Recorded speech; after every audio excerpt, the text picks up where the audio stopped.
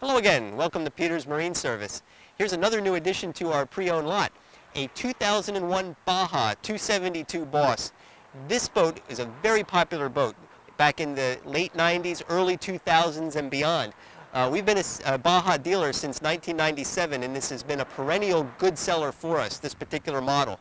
What makes it so nice is its deep hull, good water characteristics in rough water, and also the fact that you get a windshield on this particular model. I'll point that out when we get inside. But more on this particular boat. Uh, this boat was locally owned here in eastern Pennsylvania. I know it has Delaware registration on there, but this is a local owner freshwater boat, and you're not going to believe this. 35 hours on the engine. Very little time, very little use, so there's a lot of opportunity here for somebody on this particular boat. Sitting on an aluminum I-beam Eagle trailer, with spare wheel and tire located up here. So it's a nice, nice looking trailer underneath the boat, complements it very well. As you come down the side of the boat here, you might be able to get a look at the gloss that's coming off the side of the boat.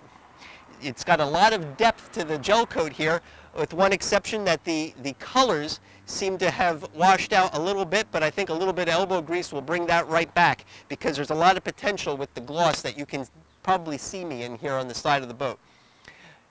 As I mentioned, it's a 272 Boss, which means it's a 27-foot boat. This boat shares a similar footprint in the water to the very popular 25 Outlaw. This one has more of a European styling to it with the rounded edges, integrated swim platform here on the back, and again, as I mentioned, the windshield, which I'll show you shortly. This boat's powered with a 496 MAG HO, which means it's got 425 horsepower. Uh, this, it's a closed-cooled system engine, which I'll show you as well when we get inside. Bravo 1 outdrive. Dual ram trim tabs here on the back of the boat give you a lot of added performance if you get into some rough water. And that's where a boat like this really excels. You get this boat out into some chop, get some air under the hull, the boat gets up and it goes. And it's a nice ride as well. Up on the back of the boat here, you can see the spacious swim platform here on the back. Ski tow eye located here also. And a couple other nice features in the back here. We have a, a uh, freshwater spray down here with uh, the tank is located inside the boat. Stainless steel pop-up cleats right here. So it, that pops up nice and easily right when you want them. Once in the boat here, you can see the swim plat, uh, the sun pad here on the back. Nice thing about Baja is the integrated colors inside. This one's got a nice combination here of red, purple, and yellow, and they integrate that right into the upholstery. So it's a very custom look to the whole sun pad here. Once inside the boat, you can see the amount of room that we have here. You could easily sit four people across the sun pad here. Aero drop-down bolsters, and uh, nice upholstery. Uh, again, outside of it, maybe just showing some age from sitting, there's no cuts, there's no tears in the upholstery. The carpet is in outstanding condition, and that's a lay-in custom carpet that's right there as well. The nice thing about these Aero drop-down bolster seats is that they are they encompass your body when you're sitting right here. It's very comfortable. When you're sitting at the helm, you can kind of wedge yourself right in here. But if you want to really hit the water and, and go fast, you can drop these things down. Now you can kind of wedge yourself into the bolster here and uh, really kind of ride with the waves. Uh, it's a nice, nice riding, nice driving position. I mentioned about the windshield. What's nice about the windshield is if you, if you didn't want your, to be in the wind all day long, this kind of sets the wind up over your head so you can, uh, you can get out of the wind if you wanted to. Uh, nice for families. We sold this model boat to a lot of family boaters just for that reason. Nice performance boat, but hey, you can take the family along with. Gaffrig controls here give you separate shift and throttle for that sport boat feel right here. I mentioned the dual ram trim tabs. You have indicators right here to let you know where they're at, right at, the, right at your fingertips here. Depth finder, compass located up on the top. Custom bezel matched gauges located there as well on a nice, uh, nice framework here for the dash panel. It's got that carbon fiber look to the whole thing. All your, in, all your gauge, uh, switches rather are all here right easy to get to for your drive and your trim right here, right at your fingertips.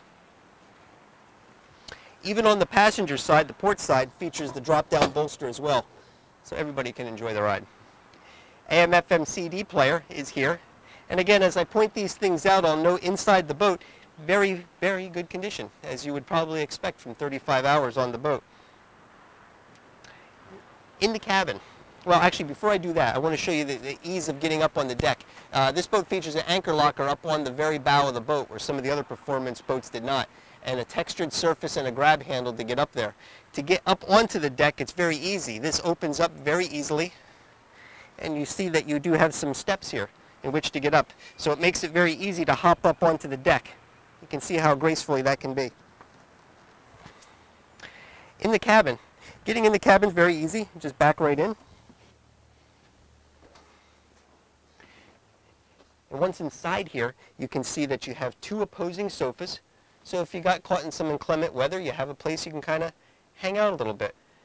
Again, not used at all. The, the interior is in very good condition. There's no, no cuts, tears, anything. Uh, doesn't look used at all. One thing you will note is the, the headliner, which would need some uh, reattaching up to the deck. Boat comes with a lot of other things. Uh, you have plenty of storage underneath the compartment inside here, where included are lots of life vests, some uh, ski rope, never out of the package, brand new skis there as well.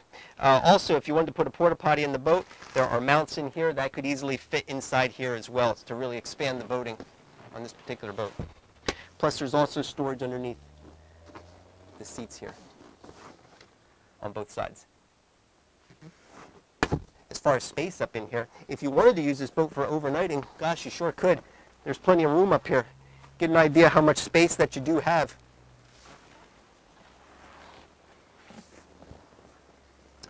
One, one thing I'm going to point out right outside here is the engine compartment. And the lid opens up with the push of a button. Engine hatch, push the button, and the lid opens up neatly.